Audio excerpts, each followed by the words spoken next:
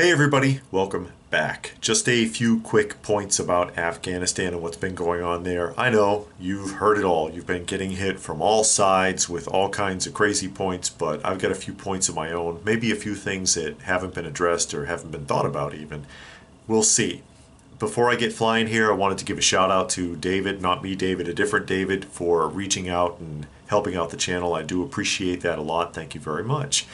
So, what's the point?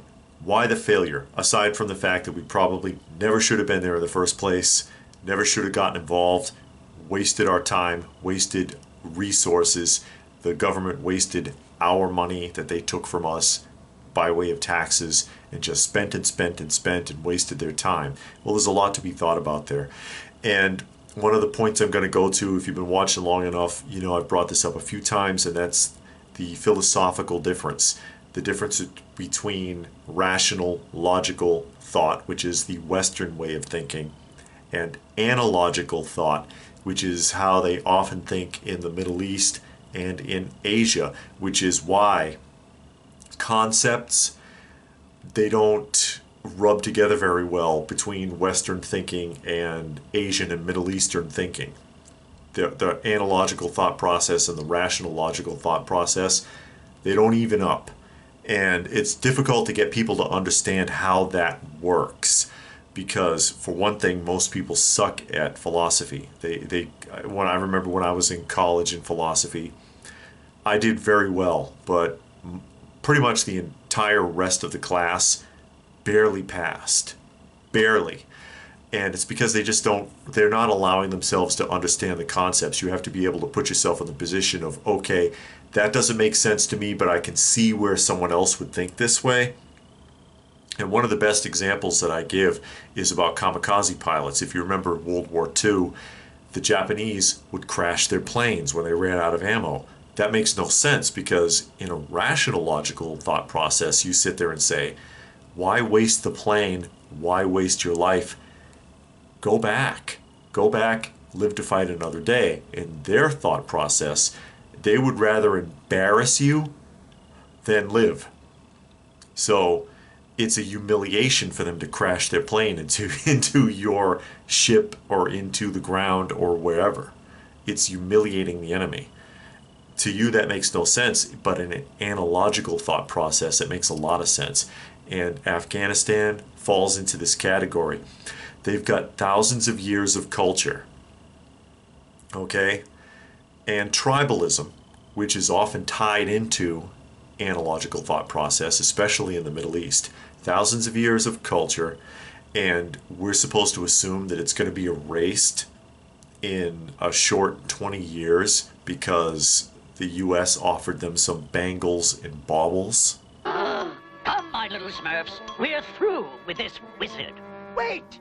Eh, eh, I'll give you these nice beads for them. Eh, I'll throw in these baubles and, and, and some brand new bangles. No deal, Gargamel. It doesn't make any sense. And they don't want your junk. This, this thing, that this stigma with Western government that the leaders think that if you give away enough free stuff, people will worship them. That's why we got stimulus checks. They like to buy you off. They like to give you things. And sure, they'll take it. The Afghani people and government that was in place, oh, they'll take all the free stuff you can give them. But they're not going to believe your concepts. They're not going to trust you. So the moment that it looked like we were leaving, because there was only like, what, 2,500 uh, military personnel left there? That was enough to destabilize them enough that they didn't try to take over. They were like, well, West has a presence. Let's not screw it up. The moment that they started to leave, that was it. And it took what, 72 hours? 72 hours for the Taliban to take over. Just like that. Why? Because the people let them do it. And there is some protesting going on, and they're squashing the crap out of it, which is to be expected because that's the type of government they that they have. They don't want to be westernized. Not everybody wants to be westernized. Not everybody wants the West's phony democracy. This, we're going to bring, bring democracy to the rest of the world, and we don't really have it here because it's an illusion. They lie to us, and then they take it somewhere else and present the same lie, and they're supposed to trust it. Think about that. And and not only that, but the like I said, the arrogance of the of the idea that in just a couple of short decades, yeah, we're going to convert this country and we're going to bring them democracy and the right to vote and all these rights and this and that, all these rights that they can't control here on our own doorstep. You know, there's an old adage that not to complain about your neighbor's yard until you clean yours up. our yard is pretty freaking dirty. And not all American people do this. This is something if you're if you happen to be in the Middle East watching this, not very likely, but if you are, keep in mind that the American people, we don't care. Real American people, the average people, we don't want to get involved in your politics. We don't care what you're doing as long as you don't bring it here and mess us up. As long as you're not causing us problems. It's the government and companies that have special interests that are forcing the issues. And that I bring that up because unfortunately, whenever there's a terrorist attack, what do they do? They attack the civilian population who has zero to do with whatever you think your problems are. It's quite unfortunate. But again, analogical thought process, tribalism, thousands of years of a system that they're comfortable with, and we come over and disrupt it because we're going to fix everything because you're doing it wrong, buddy. Yeah and we can't get it right here. Our government doesn't do it right, screws its own people over, takes advantage of its own people, taxes the crap out of them, misappropriates the money, misuses it, misspends it, makes all kinds of dirty deals, uh, acts like they're squeaky clean, and they are filthy. But yeah, they're supposed to trust a government that does this to its own people because they're going to bring them democracy. They don't want it. They don't want it. what are you What are you going to do? And uh, yeah, the the planes. I mean, they're really emphasizing. I just wanted to touch on this really quickly. Uh, where do you think those people are going to end up? I put up a, a little meme about that. It's like, where do you think a picture of the uh, Spirit flights? Where do you think those people are going to go? Uh, uh, are there any states yet, or any elected officials volunteering on behalf of their state as if they speak for everyone. Oh, yeah, bring them here. We love them.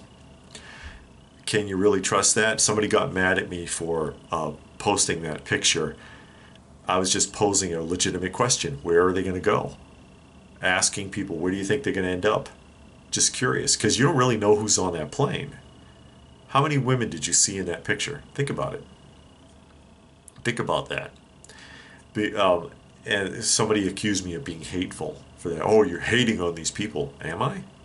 I asked a legitimate question. You don't know who's on that plane any more than I do, or what the intentions are. They could be decent people. They could be a bunch of plants. And we'll find out when it's too late. as as is usually the case. Keep in mind that one of the uh, I can't remember the name of the guy. Probably couldn't pronounce it anyways.